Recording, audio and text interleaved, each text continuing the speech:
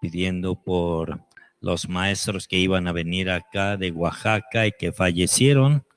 Seguimos pidiendo por ellos diariamente en nuestra Eucaristía de las 7 de la mañana y por todos los enfermitos del COVID. Todo esto, Padre, lo presentamos a ti por Cristo nuestro Señor. Amén. Pues ya les comentaba ayer el maestro Oscar que había, y ahorita me recordó el maestro Fernando, que es necesario presentar eh, para que tengamos una especie de evaluación, pues una pequeña síntesis en cuatro partes. La primera es el ver, el ver. Acuérdense todo el problemita que hubo, eh, toda la situación, cómo enfocamos esto de la vocación a la santidad con los términos hebreos kadosh, kodesh, que dicen perfección, ¿verdad? No más que esa perfección que se vive de dos maneras, en una forma no propia, una perfección, podemos decir, pagana, santidad pagana, si se pudiera decir así, y la perfección cristiana. De estos, pues ya hablamos más o menos ahí, eh, vimos, analizamos, y bien, de esto háganme una síntesis, ahí está el primer esquemita que les mandó el maestro Oscar a su correo. Eh, el, eh, dentro del segundo cuadro es el juzgar, el juzgar, que lo que vimos a nivel eh, científico, el problema de la libertad, y ya después a nivel teológico, pues vimos un poquito la historia de la salvación, recuperando lo que se necesita sobre esta historia de la salvación. Abraham, Isaac, Jacob, José y todo lo demás. Llegamos a Cristo y ya sacamos con qué se quedan o cuál es la síntesis de este segundo momento. Ya hoy y mañana, pues ya terminamos, ya lo último que tenemos. El tercer momento, actuar ya veíamos ahí en el actuar. Ahí lo voy a poner en la pantalla. Tan, tan, tan. Qué bonito el actuar. Tercer momento, el actuar. Todos los grandes personajes, de qué se trata, de recuperar y cambiar nuestro modo de conocer, querer y hacer, renovando nuestro proceder en el conocer, ya lo vimos, bla, bla, bla. Bueno, se trata también, tercera cosa, hacer una síntesis de todo el actuar, de todo el actuar. Aquí concretamente renovando pues la praxis de la fe. Y ahora vamos a hablar de la renovación del proceder en el querer a través de la praxis de la esperanza y del tercer eh, momento, que está también ahí en su hojita, renovar nuestro dinamismo relacional a través de el amor, la caridad. Y esos tres, esas son las tres partes. Una, dos, tres. Dije cuatro. La cuarta, ¿con qué se quedan de todo esto? ¿Cuál es el núcleo en relación al título original? pusimos un título original, cubrió las expectativas de lo que se propuso el curso o no. Y ahí se los mando, como les dijo el maestro Oscar, pues ahí o la plataforma y lo pone. A mañana más tardar. Bien, iniciamos aquí. Renovar nuestro querer.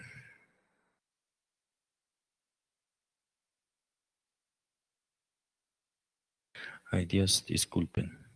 En segundo lugar, en primer lugar, renovar nuestro modo de conocer. En segundo lugar, se puede hablar de una conversión en el querer. Es necesario pasar de un querer pagano a un querer cristiano. Se ha dicho que el querer del mundo pagano es también degradante y esclavizante por ser pecaminoso. En efecto, se trata de un querer limitado y limitante que impide sentir o experimentar la gratuidad del amor divino. Dicho querer pagano no nos permite vivir como criaturas del Creador, siendo imagen y semejanza del Creador, no nos lo permite eso, nos elimina o nos impide actuar como verdaderos hijos, imagen y semejanza de Dios. Y nos hacemos víctimas de una indiferencia que degrada todo nuestro ser, haciéndonos egoístas. Ya comentábamos esto en el segundo, en el primer momento, todo lo que implica ese egoísmo.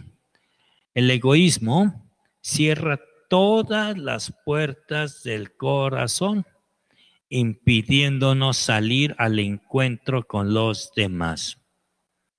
Este mismo tiene como causa principal el hecho de no dejar espacio en nuestro corazón al dinamismo divino. Es el problema del egoísmo. Primero yo, después yo, y luego yo, y lo demás no me interesa. El egoísmo. Es así que no solo nos volvemos más insensibles a los estímulos divinos, mediante los cuales Él nos incita a consagrarnos en cualquier trabajo, sino que también perdemos el gusto por hacer las cosas al faltar el motivo o el ideal motor que anima toda acción. Paul Ricoeur, gran teólogo contemporáneo, interpreta, ya les comentaba ayer, pues que vivimos en un mundo donde reina el pesimismo. Se pierde el gusto por hacer las cosas. Está el famoso, nah, Oye, vamos al cine. No, porque está muy oscuro. Vamos a pasear al campo. No, ¿por qué? Porque puede haber pulgas. No, Oye, vamos a, a una comida especial. No, no me gusta el guisado de los demás. Y así, a todo le ponemos pero. Somos los pesimistas y perdemos así el gusto de hacer las cosas. Ya, ya no tenemos gusto por nada, se pierde el gusto. Consecuencias de esto, pues está la melancolía, la falta de creatividad, el aburrimiento, la intolerancia y todas estas deformaciones de la libertad resultan todas estas de un querer limitado y limitante. Esto nos lleva a considerar algunas convicciones con su respectiva praxis. En concreto, las convicciones en el ámbito filosófico podrían ser así. Primero, cultivar la convicción sobre la bondad de la naturaleza de la libertad lo más noble, lo más bello, lo más especial que existe en todo cuanto existe, es la libertad que tiene en sí una bondad increíble. Pues se trata de cultivar esto mismo, cultivar la convicción optimista sobre el porvenir de la libertad, así como asumiendo los sentimientos del pueblo de Israel cuando pasaron años y años ahí en Egipto de esclavos, Y ya ellos decían, no, pues no hay nada que hacer, está todo perdido, jamás vamos a poder eh, salir. Entonces ya no tenían una perspectiva de porvenir sobre la libertad. Se perdía todo optimismo por un pesimismo. Se trata entonces de cultivar el optimismo, viendo con buenos ojos el porvenir de la libertad.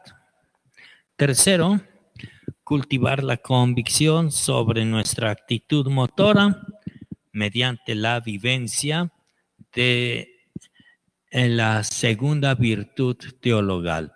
La primera que tratamos ayer fue la fe, cultivando la fe. Ahora se trata mediante la vivencia de la esperanza cristiana. Esto implica cambiar nuestra forma de querer, renovando nuestra actitud motora mediante la vivencia de la esperanza cristiana. En efecto, dicha esperanza es un don de Dios que nos permite encontrar un significado vitalizador en lo que ocurre a nuestro alrededor.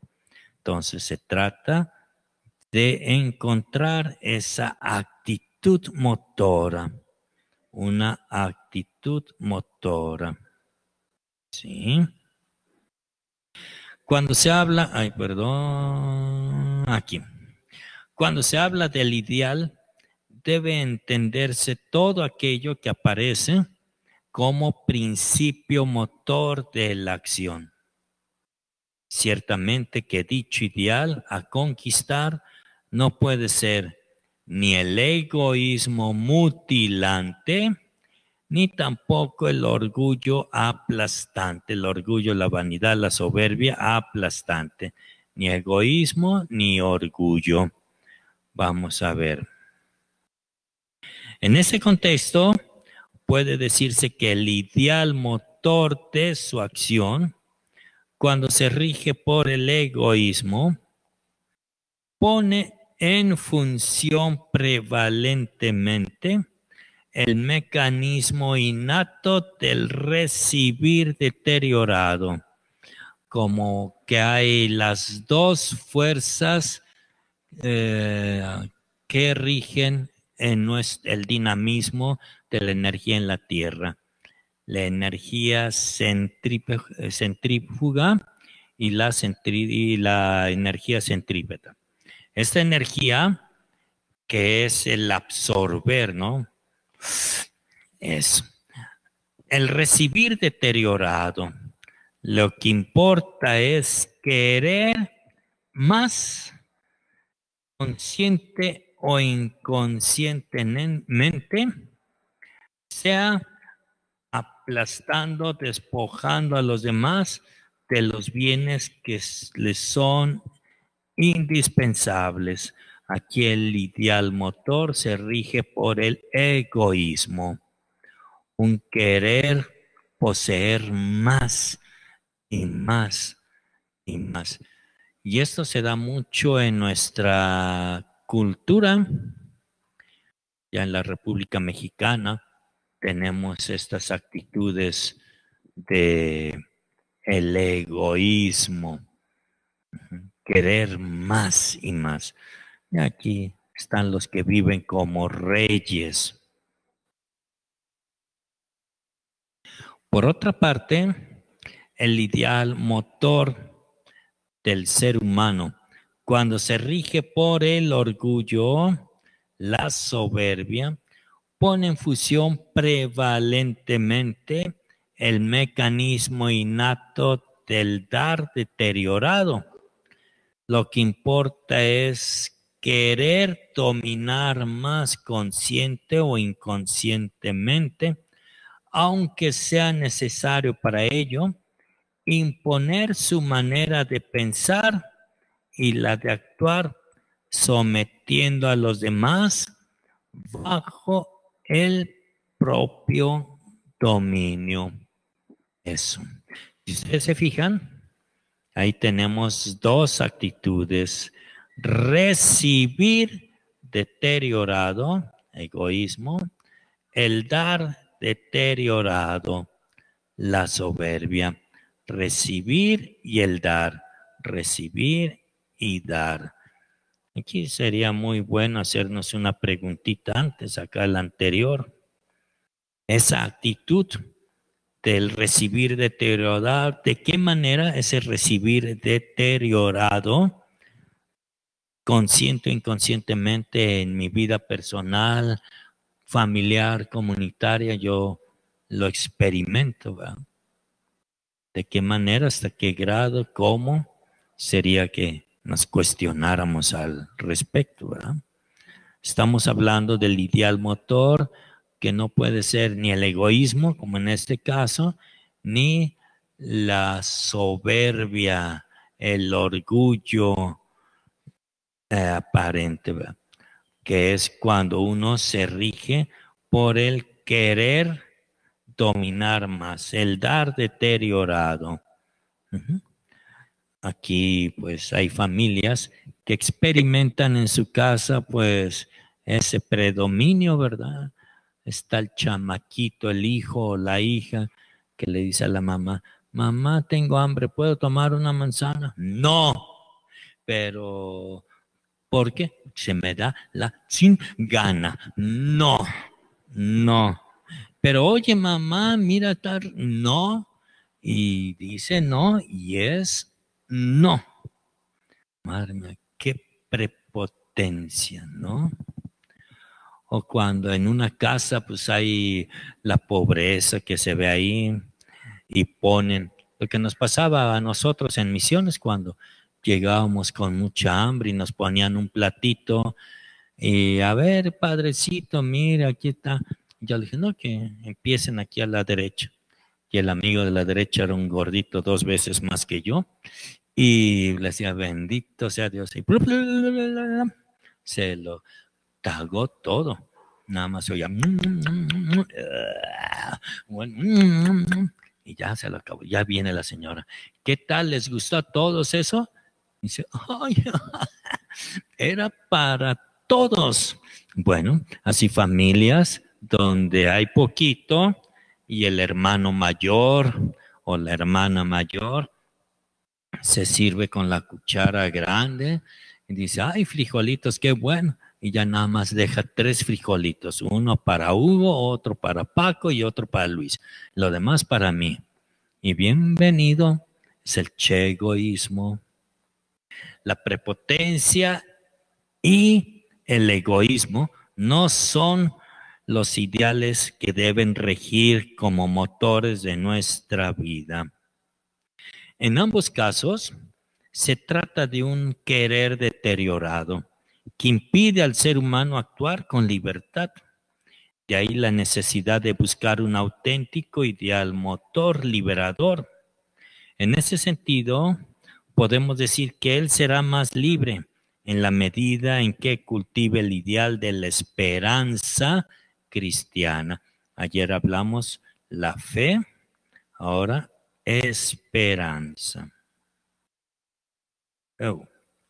En este contexto, puede decirse que el ideal motor de su acción, cuando se rige por la libertad, pone en función prevalentemente el mecanismo innato del conocer para recibir la verdad, querer para dar con bondad y el hacer en equilibrio como lo hace la Santísima Trinidad.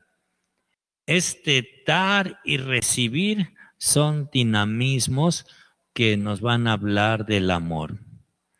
El amor en una pareja pues implica el saber dar, dar cariño, dar comprensión, dar bondad, perdón, bla, bla, bla, bla, bla, bla, etcétera.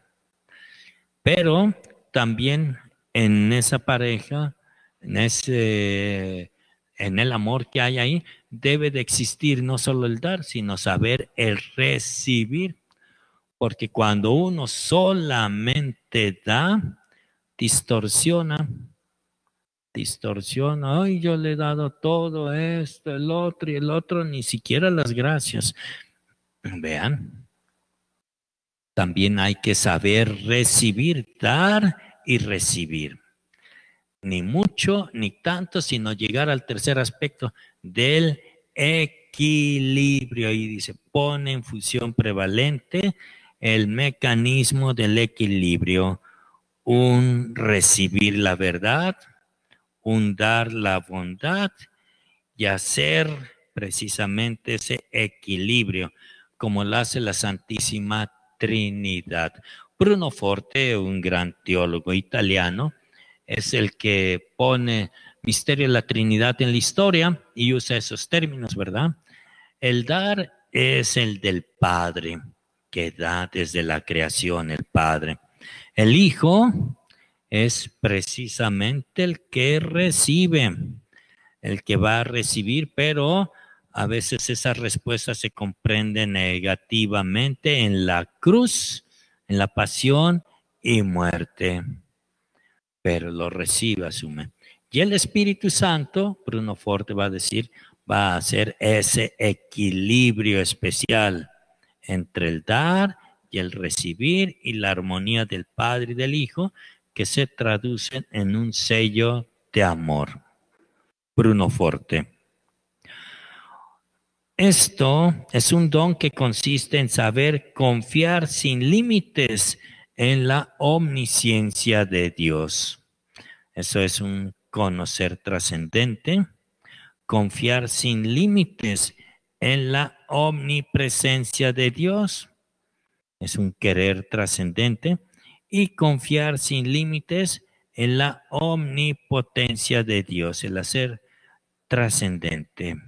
Entonces, Confiar sin límites es un, eh, bueno, confiar sin límites, omnisciencia, el conocer de Dios, en el querer de Dios y en el dinamismo de Dios. Todo esto nos hace considerar, intuir la realización plena del ideal sublime. Desde esta perspectiva, puede anhelarse siempre lo mejor confiando que es posible realizar aquello que es querido como sublime ideal. Se trata de la realización de las grandes utopías en su negatividad hecha realidad. Ya les hablaba yo de eso en alguna ocasión, no sé, hace dos días o tres días, de las utopías. ¿Qué es la esperanza? La esperanza viene a ser la utopía hecha realidad en su negatividad. Utopía, lo que parece imposible, pero que se hace posible. Dios es el que hace posible lo que parece imposible. Y esto eh, lo puedo explicar con tres ejemplitos. El primero me pasó en, en Cañitas hace años, años con Marcos Novelo, ahí estaba él. Y resulta que me gustaba mucho la música, daba clase de guitarra y había dos hermanitas que con mucho gusto iban, eran las primeras, las que llevaban muy bien sus apuntitos. Hice este, pues un premio ahí, al que supiera mejor guitarra, se le regalaba una guitarra de las que pedíamos en Michoacán eran las de 350 pesos, pero hechas de paracho. ¡Wow! Buenas allá en Parachos. Sonaban bonito con el eco. Y se hizo una rifa a los que más respondieran el cuestionario y todo eso. Y una de las muchachas se llevó la guitarra. Las demás guitarras eran prestaditas y demás. Pues bien, ahí estaba. Resulta que un lunes, que era lunes, martes, miércoles, tiempo de verano, eh, resulta que no llegaron esas dos muchachas. Yo dije, ah, caray, pues siempre están puntuales. Lunes, martes, miércoles. Dije, no, pues hay que ver qué pasó. Voy y sale el papá. Padre, ¿qué cree? Un drogadicto entró a la casa, quiso violar a una de mis hijas, mi esposa se interpuso y ya para no hacer largo el cuento, el drogadicto mató a mi esposa.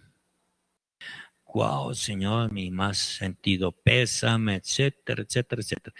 Y la historia sigue así, que capturan al drogadicto. Y entonces allá el de la policía y demás dice, amigo, no le podemos este, devolver a la esposa porque ya valió, ¿verdad? Ya está muertita. Pero sí lo que podemos hacer es justicia. Y esta justicia que basta nada más que ponga su firma para no sé tantos años de cárcel a este maldito desgraciado que mató a su esposa. ¿no? Y además una multa. Esa multa parece que era de un millón y fracción de pesos. En aquel entonces era pues imposible de pagar, ¿verdad? Y entonces ahí en el juicio yo no estaba ahí en el juzgado, me cuentan lo que pasó. Ahí el señor este agarró el papelito, nada más firme para que se lleve a cabo la sentencia. Y no van a creer, el señor rompió el papelito,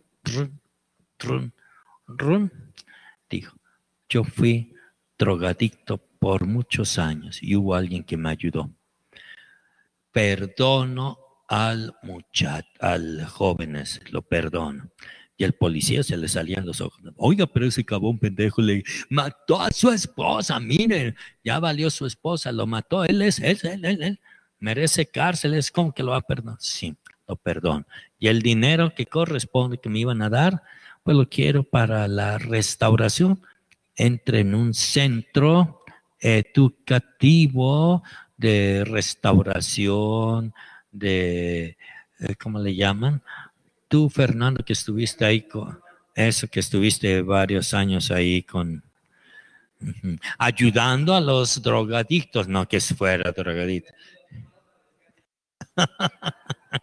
Teníamos un grupo llamado BAT, entonces ahí pues así es apostolado, brigada antidroga, los llevamos ahí en Belén, Nazaret. Nazaret era ahí un lugar donde había la desintoxicación. Y sí, el Señor ese. Eh, yo creo que le han de haber puesto la, la, mano en la frente. Señor, ¿se siente bien? Este cabón mató a su esposa. Lo perdona. Pero es imposible, inimaginable, impensable. No tiene lugar. Y la utopía se hizo realidad. Chan, chan, chan, chan, así. Muy interesante. Eh, ¿Cómo vamos de tiempo? Ay, ya queda poquito, ¿verdad? 19. Bien, el segundo ejemplo, también con los Mairos Don Bosco, también allá en Colombia, de un señor rico que daba, en italiano se dice, mata e fai me da repugnancia en italiano. Ya en español, ya ustedes traduzcanlo como quieran. El señor era rico, tenía ahí su negocio bien, y resulta que los camines los chavos de la calle, pues ahí se dormían. Y en una ocasión el señor llega, la gasolina, y le da el cerillazo. ¡Prum! ¡Ah, su mecha! Y los que estaban ahí, los mismos gamincitos, como pudieron y le ayudaron y demás. Un señor supo la historia, cómo estaba esa situación, y ese niño pues estaba muy mal a su mamá, ya quedó todo quemadito. Y dice, una limonita para este pobre viejo, una limonita para este pobre viejo.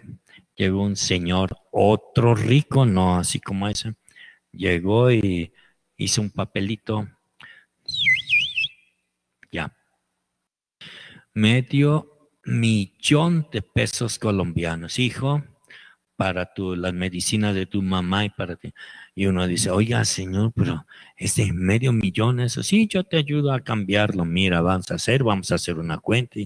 Pero no es posible, es inimaginable, impensable. A veces la acción de muchas personas son inimaginables, impensables. Tantas cosas bellas que uno dice, no puede ser, no tiene lugar y sin embargo se realizan. En la historia de la salvación ya les dije a ustedes que hay estas utopías hechas realidad. Cuando Israel, siendo un ejército etlenque chupados, que van mil soldados ahí tlenques, que van a luchar contra diez mil soldados de este ejército sirio y demás, ¿no? Con Nabucodonosor. Y el profeta que los anima, amigos, aquellos que confían en Dios jamás, jamás quedan defraudados, jamás son defraudados. Eh, Samuel, fíjate que pues son ellos diez mil, nosotros mil, y mira nomás, y ellos con carros de guerra, lanzas, flechas y todo. en nombre del Señor batallan y los derrotan. Pero, pero, pero, no, no, no es posible, es inimaginable, impensable. No tiene razón de ser. Y sin embargo, Dios hace posible lo que parece imposible en sus aspectos negativos y en sus aspectos positivos, ¿no?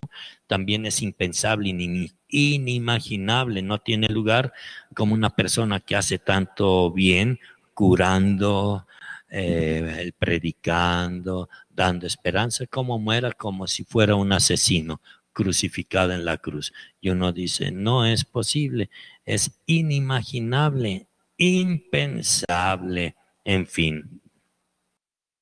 De las grandes utopías, hay todavía una utopía de la cual ojalá ustedes puedan asumirla.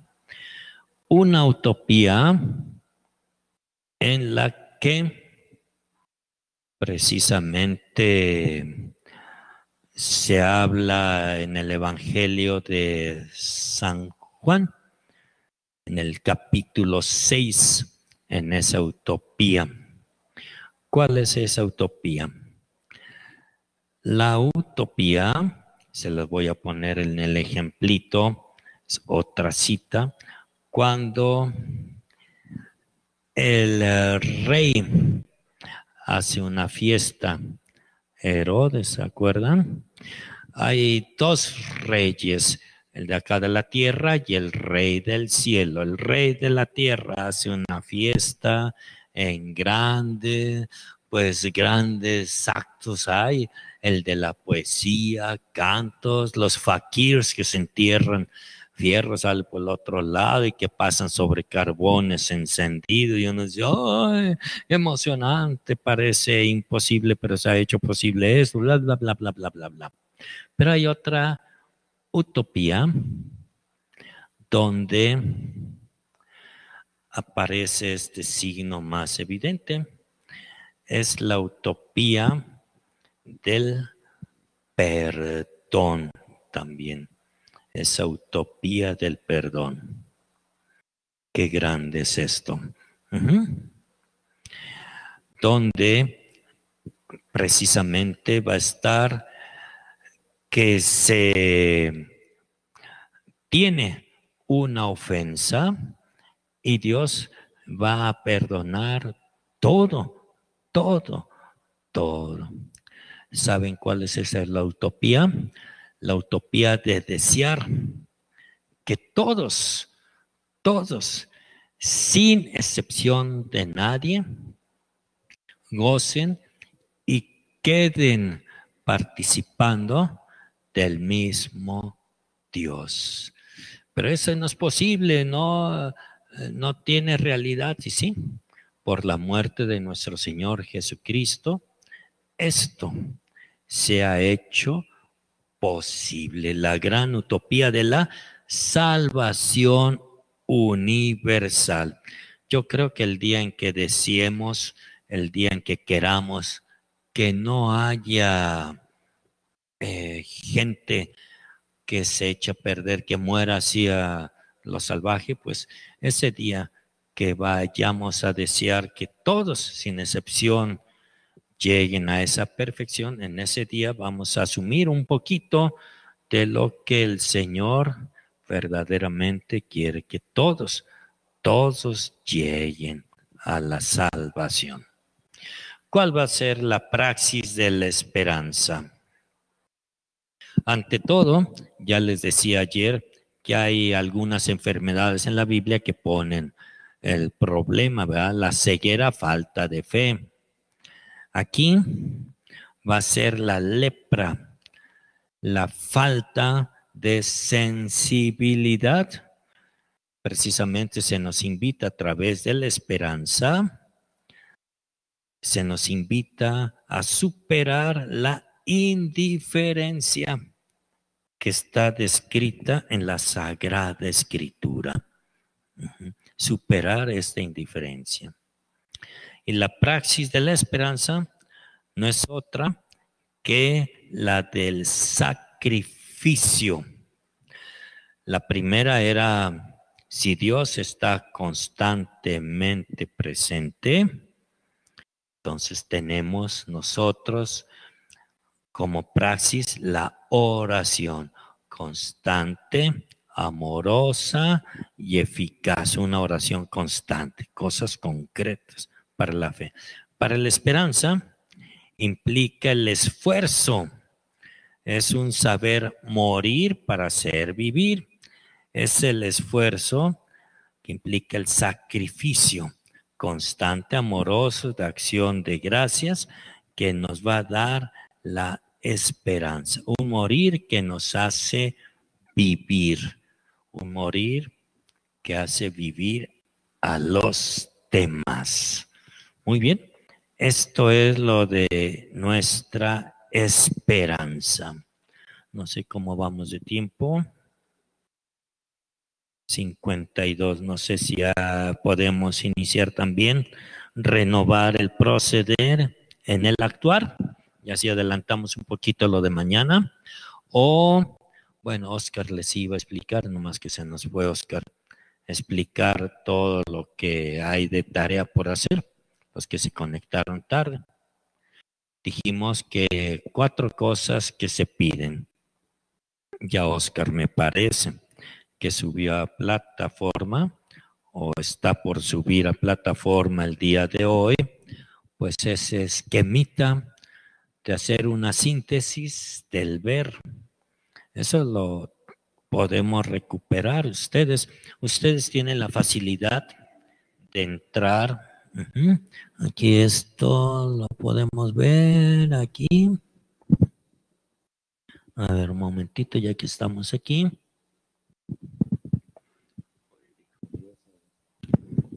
El primer momento, ¿dónde está el primer momento? Ay Dios.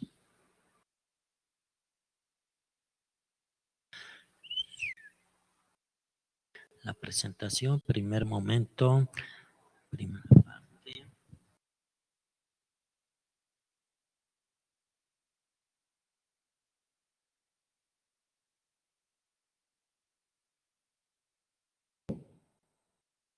Disculpen, hace un poquito lejos. Apuntes. Todo eso lo tienen en su plataforma, ¿verdad? Ahí está, antropología bíblica. Muy bien, pero ahorita vamos a primer momento, segundo momento y tercer momento. Vocación a la santidad, aquí está, con razón no la encontraba.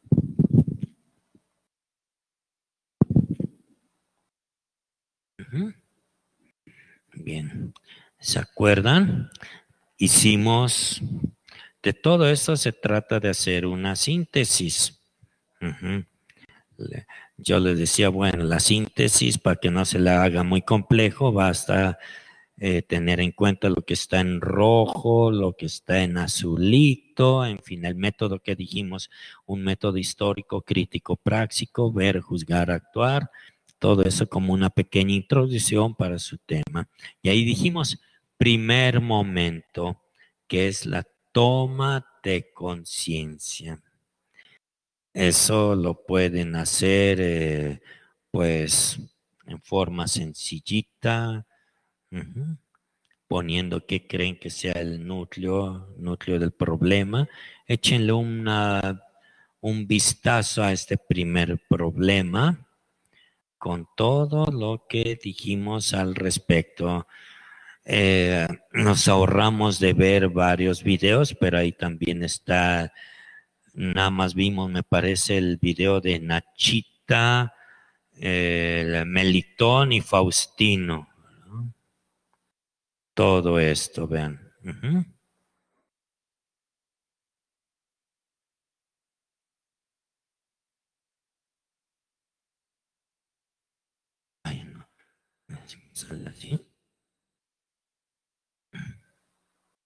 Ahora sí.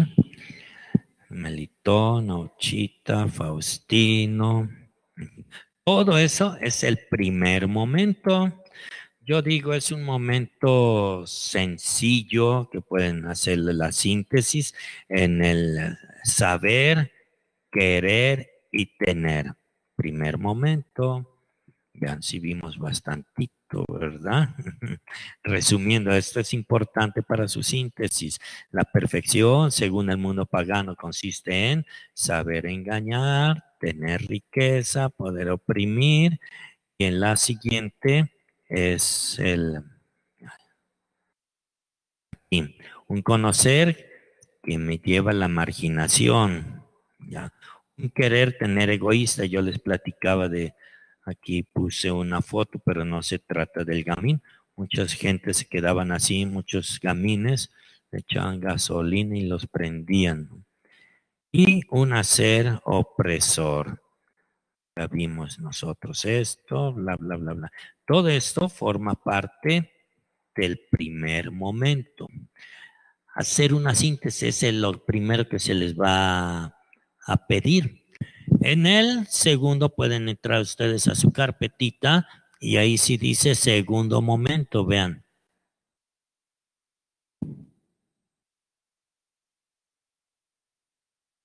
Este momento está en complemento con otro con la antropología bíblica. Son dos carpetitas que tienen que ver y creo yo que es eh, lo más importante de la síntesis.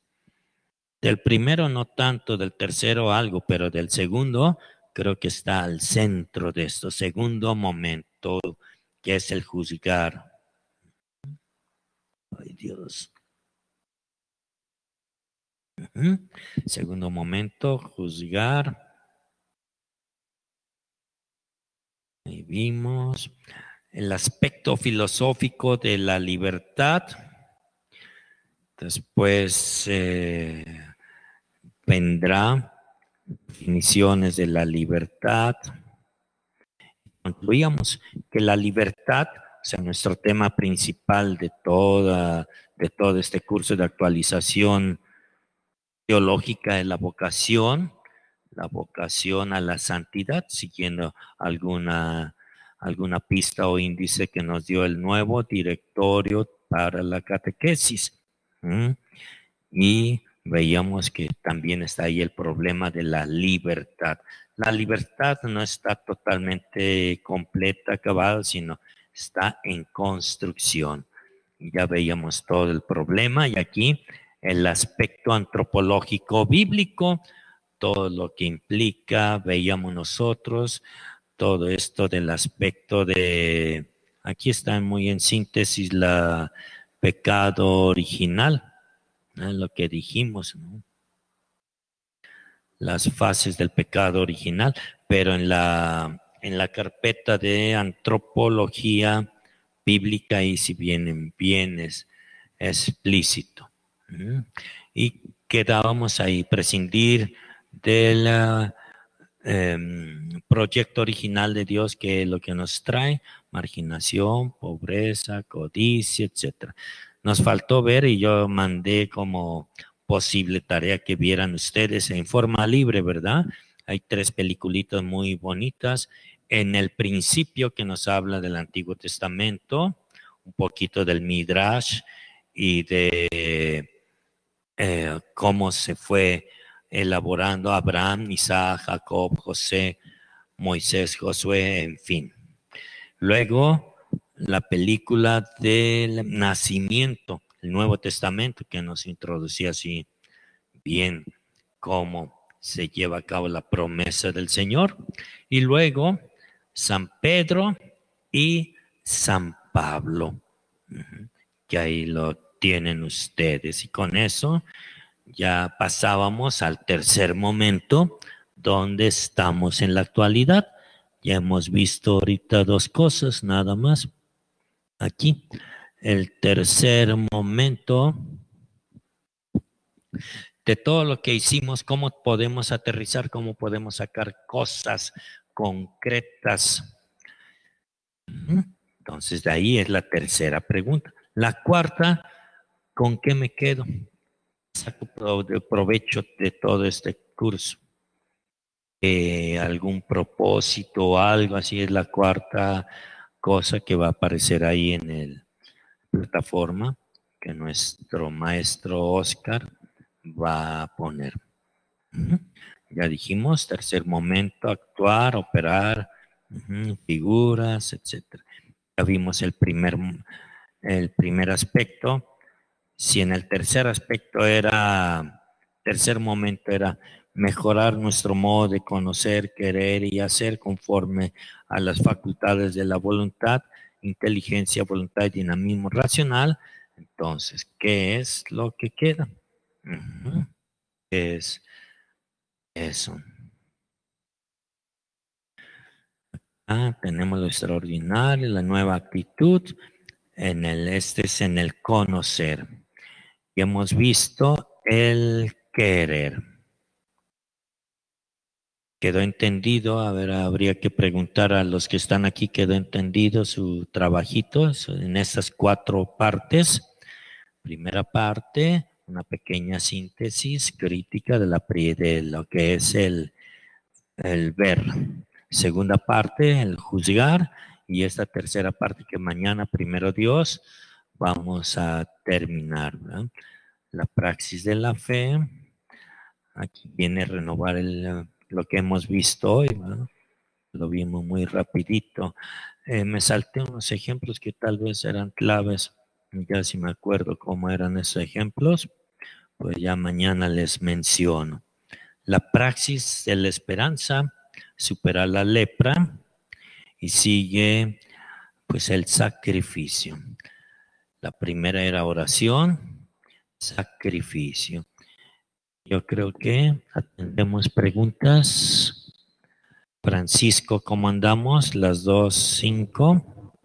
¿Sí? Bueno, ¿alguna preguntita tanto los de aquí? ¿Alguna preguntita de aquí o allá? Los que están en video. Aquí estamos bien, ¿sí? Más abajito. Allá. ¿Hay preguntas, Francisco? Sí, tenemos una. Eh, dice, Padre, buenas tardes. Socorro, dice, la praxis de la esperanza, usted nos habla del sacrificio. Me queda claro el morir para impedir que otros mueran. Mi pregunta va por la segunda forma de revivir para impedir el morir de los demás. Exactamente, esa segunda forma. Bueno, se trata de un morir para, para hacer vivir, ¿verdad? Un morir para hacer vivir. El ejemplito, este, un papá o una mamá que le encanta el pastel de chocolate, pero es un pastelito chiquito para cinco hijos. Entonces la mamá muere a su gusto, de comer su propio pastel. Mamá, tu pedacito, no, yo el día de hoy no quiero. Y quiere, lo desea, pero muero a mi gusto para hacer vivir a mi hijo, a mi hija. Lo mismo cuando están las mujeres viendo su telenovela. Eh, ¿Cuál estás viendo, Elenita? Todavía. El rubí. Bueno, que está rubí, que ya son las partes finales. Y llega tu esposo eh, imaginario. Llega tu esposo y le dice, viaja, hoy no hay rubí, hoy hay joya de fútbol. Vamos a ver Chivas América. Cómo la, la Chiva le gana a la América. Oye, viejito, pero la final de Rubí. Me vale. Si ese esposo no vive el saber morir para hacer vivir, pues se va a ver todo el partido Chivas América. Pero si ha entendido bien qué consiste saber morir para hacer vivir, viejita, a mí no me gustan nada las telenovelas, nada. Pero te amo, te quiero, muero a mi gusto de ver la telenovela, de ver mi fútbol para ver tu telenovela. Y esos viejos que son buenos o malos, porque ya ven así, ¿no? Mamá, esos son buenos o malos, son malos porque ya la hija la robaron, esta es mala, buena, y ahí está preguntando. Era el esposo a su gusto de ver su fútbol para hacer vivir.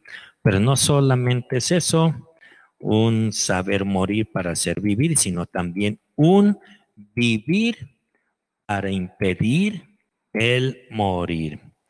Se trata de que ese vivir es llenarnos nosotros de fe, de esperanza, de amor. Nadie da lo que no tiene. Si no te llenas de Dios, no estás en una íntima relación con Dios, no vas a tener fuerzas para ayudar a sacar a otros de situaciones tristes, lamentables y demás. Todos como seres humanos tenemos límites, eh, sufrimos la muerte de seres queridos, en fin, pero si no tenemos esa fe profunda, no vamos a poder vivir para impedir que el otro muera, muera en su angustia, muera en su desesperación, muera sin esperanza. Eso, el dar esperanza, hacer posible lo que parece imposible. Pues bien. Eh, Karina pregunta, se habló de qué consiste el don, diciendo y dando algunos términos en los cuales no puedo entender el significado de omnisciencia aplicado a una realidad más inmediata. Ya, son tres términos que usé, omnisciencia, omnipresencia, omnipotencia. Omnisciencia, el omni, no crean que es el de omnis, ay, porque hay veces que pasa, ¿no? Ay, ¿dónde está el omnis aquí? Me acordé de alguna hermanita religiosa en X lugar, en otros tiempos. Yo estaba viendo lo de las herejías, cosa que el próximo periodo vamos a ver en actualización cristológica. Estamos viendo alguna herejía, entre ellos marcionismo, marción, que dice, no existe conexión del Antiguo y del Nuevo Testamento. El Dios del Antiguo es totalmente distinto, ajeno al Dios del Nuevo Testamento. Y esto es una herejía que se llama marcionismo, por marción, marcionismo. ¿Y qué creen? Alguna hermanita muy santa en su práctica de piedad ahí. ¿Qué es el marcionismo? Creer en los marcianos. Yo digo, ay, no, no. Sí, hay veces que uno puede confundir omni con omni y es grande, infinita. La omnisciencia, que todo, todo lo sabe Dios. Omnipresencia, que está en todas partes. No hay ningún lado en que no esté, ninguna parte en que no esté presente Dios.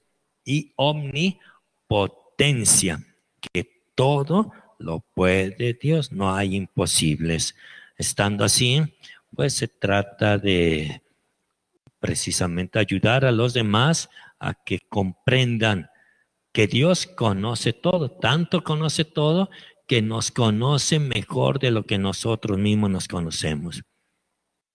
Hay veces que decimos, híjole, me siento todo enejo, no sé qué tengo, no me entiendo, tengo una Eva terrible, ay, no me quiero mover. Señor, ni yo mismo me entiendo. Ni yo mismo me entiendo. A ver, no hay nadie mejor que Dios porque es omnisciente, que conozca hasta los últimos detalles, antes de tu nacimiento, en tu nacimiento y en tu momento de muerte. Dios lo sabe ya todo, todo. Eso. Y eso da confianza más o menos para la que preguntó Socorro, me parece. ¿Sí? ¿Alguna otra pregunta? Dice Susana, en los movimientos como Renovación Católica se habla mucho de que para hacer el bien tienes que hacer oración de protección, porque de lo contrario el enemigo te trapea. ¿Qué puede comentar al respecto? Bueno, yo les invito a, a no llevarse por los fanatismos, porque ya ven, hay fanatismos, fanatismos. Ay, si no prende cinco veladores, va a venir el chamuco, protege. Y ahí están con incienso y todo. No, no hay mejor poder que Dios. Es confiar más que hacer oración de protección y demás, hacer oración para que nosotros estemos capaces de conocer algo, de renovar algo, de empezar algún movimiento, etcétera. Em, bueno, no quería decirlo, pero sí, los principales demonios somos nosotros. Demone, demonio, demone, es una palabra que significa división. El ser humano está llamado a tener unidad en sí mismo, pero él mismo cuando empieza a dividirse, ¿cuáles son las tres o cuatro divisiones principales? Primera división, tú no quieres saber nada de Dios, rompes con Dios. Aunque Dios te ama, está siempre con los brazos abiertos, Él siempre te está esperando, tú rompes. Esa es la primera división. La segunda división, rompes con los demás. No me estén molestando, es el otro, no quiero saber nada de ustedes, son unos hipócritas de primera, en fin. La tercera división, la más grave, cuando tú mismo estás dividido interiormente. Mm, se da una división tremenda. Ese es el demonio, el mal que tenemos que espantar. Principio de división. ¿Cómo se actúa? Pues a través de una oración de unidad, una oración, Señor, hazme fuerte, yo confío en ti, etcétera, etcétera, etcétera. ¿Más preguntas? Dice que el padrecito no diga 12 días. Bueno, ya les dije, las groserías en sí no son malas, lo que es mala es la intención, el odio, la ira, el coraje, en fin. De las preciosas que están conectadas ahí, que le estoy viendo, miren nomás, están echando un coyotito sabroso, durmiendo. Bueno, está bien. Mi voz arrulla. Bueno, entonces para mañana empezamos en la otra parte, nomás que le voy a pedir a Oscar. Entonces él me dijo que iba a subir, ¿verdad? Eh, ¿Quién nos quiere explicar un poquito más? Gracias, Jaimito. Hola, ¿cómo están? Buenas tardes. Eh, hoy precisamente ya estamos terminando de elaborar lo que es la cuestión de la actividad y una pequeña evaluación para eh, corroborar que, bueno, estuvieron al pendiente del curso. Entonces, va a aparecer en la plataforma y les voy a solicitar que lo puedan llenar para este y contestar para que puedan tener eh, pues eh, eh, la oportunidad de, obtener su, su, constancia de participación. Lo mismo va, a pasar con el eh, curso de Cristología. Entonces, en ese sentido, pues sí tienen que dejar, digamos, constancia de que estuvieron siguiendo las clases o que por lo menos las estuvieron viendo en los videos que se estuvieron replicando también eh, durante todo lo que fue esta semana. Los videos, recuerden, nada más se guardan siete días en la plataforma, posteriormente se borran en forma automática. Entonces sí les pido que los puedan ver a tiempo y los pueden descargar, es muy fácil. En donde está la ventanita del video, donde está la imagen siempre del padre Jaime, eh, le pueden dar clic derecho del ratón dice descargar video y automáticamente se guarda el video en su computadora. No pesa mucho en su computadora, en la plataforma sí, pero en su computadora es un archivo muy pequeñito que lo pueden reproducir cuando ustedes quieran y bueno, así lo, lo pueden tener, digamos, como un acervo eh, que les va a servir para su proceso de formación y pues bueno, van a tener hasta los chistes de Jaime ahí este, grabados, ¿no? Entonces, eh, vamos a a, este, a realizar, digamos, esa actividad y sí les voy a pedir que por favor estén pendientes. Entre hoy y mañana subimos esas actividades para que las puedan contestar y entregarles su constancia o su reconocimiento que, eh, de participación en, esta, eh, en este curso de actualización teológica. Jaimito. Fernando me está pidiendo que cuente un chistecito. Ya ahí va. No es grosero, si es blanquito y demás. Dicen que un señor tenía pues ganas de comprarse un caballo. Ahorró dinerito, va y compra un caballo. Le costó un millón y medio de pesos el caballo. Y le dijeron, ese caballo es raza pura, sangre pura, corre, ha tenido tres trofeos, miren los trofeos, etcétera. No, es una bestia maravillosa. Mm, bueno, ya se sube, le pega, dice, vamos a correr, pa, pa, pa. por más que le pega el caballito, ahí va. Dice, ay, me vieron la cara de enejo. Mira nomás, qué bárbaro. No, pues voy a ir con mi compadrito que es veterinario. Ya va compadrito, compadrito, mire, me vieron la cara de enejo, pues compré un caballo a un millón y medio de pesos y que dicen que es muy bueno y que lo mejor. Dice, a ver, compadrito, vamos a ver su caballito. Ya lo ve, su hociquito, sus patas, le da sus nalgaditas al caballo y no, compadre, ¿sabe qué? Se lo regalaron. Es sangre pura nomás que tiene un problema. No, pues ¿cuál es el problema? Es el que tiene patronitis. ¿Patronitis? Sí, tiene patronitis. Ah, caray. ¿Y eso qué es? Extraña a su patrón. Es que extraña a su patrón. Pero se puede mejorar eso, se puede curar. Le voy a dar el remedio y la receta aquí.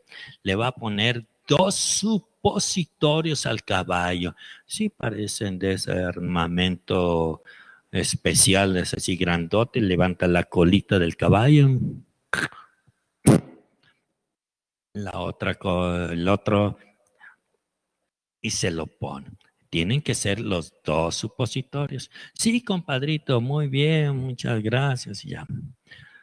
A los tres o cuatro días, va el, es si se encuentra otra vez ese señor con su compadrito.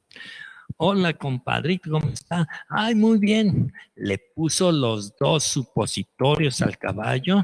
No, compadrito, nada más le puse uno. No, así no va a resultar. Le tiene que poner los dos supositorios. ¿Por qué no le puso los dos? Mire, va a ver. Llegué con el caballito, le puse el primer supositorio, Pinche caballo arrancó como loco. Me tuve que poner el otro para alcanzarlo. Bueno, vamos a terminar con nuestra plegaria antes de que nos pongan aquí un supositorio. Antes de la plegaria, perdón. Perdón, nada más este, dos señalamientos. Por ahí está apareciendo un flyer para invitarlos a un evento que vamos a tener también vía eh, Face, eh, Face Live. el próximo sábado eh, a las 2 de la tarde. Y pues bueno, es abierto, totalmente gratuito para que puedan conectarse desde sus ubicaciones y también pues bueno, van a poder estar replicando o eh, haciendo preguntas a los ponentes. Les pedimos por favor que las escriban a través de lo que es el Facebook Live y el, aquí vamos a estar recopilando todo lo que son esas preguntas para poderlas pasar con los participantes. Y para los quienes están inscribiendo en la licenciatura, eh, déjenme les comento, es un formato que tienen que llenar, posteriormente se queda grabado en una base de datos y nosotros nos comunicamos con ustedes cuando ya siga el siguiente paso del proceso de inscripción. Entonces, para los que están inscribiéndose en la licenciatura online, que es precisamente para la gente que está fuera del área metropolitana de Guadalajara. Para quienes están aquí en el área metropolitana, pues bueno, tenemos la modalidad presencial que abrimos. ¿Cuándo, Fernando? Último día de agosto. Muy bien, entonces el último día de agosto abrimos la modalidad presencial y en septiembre, a finales de septiembre, vamos a abrir también la modalidad de online, específicamente para las personas que son de eh, otros estados, de otras entidades y, o de, zona, de zonas foráneas a la, al área metropolitana de Guadalajara. Eh, sin más, pues ahora sí. La oración. La oración. Gracias, Jaime. Así como están en casita, sentados, parados, acostados, como gusten, pues sigamos pidiendo por el eterno descanso de estas dos personas que iban a participar aquí y que murieron del COVID. Padre nuestro que estás en el cielo, santificado sea tu nombre. Venga a nosotros tu reino. Hágase tu voluntad en la tierra como en el cielo. Danos hoy nuestro pan de cada día. Perdona nuestras ofensas, como también nosotros perdonamos a los que nos ofenden. No nos dejes caer en tentación y líbranos del mal. Amén. Dice el señor Miguel Ángel y señor Antonio Pérez son los que quisieron tenerlos presentes. ¿eh? Ah, son parientes de Oscar. Muy bien, que descanse en paz. María, auxilio de los cristianos, ruega por nosotros. En nombre del Padre, del Hijo y del Espíritu Santo. Amén que les vaya bien, que tengan una bonita tarde y ya hoy mismo Oscar nos va a, dar las indicaciones ahí en la plataforma, ¿va? Que la pasen bien. Chao.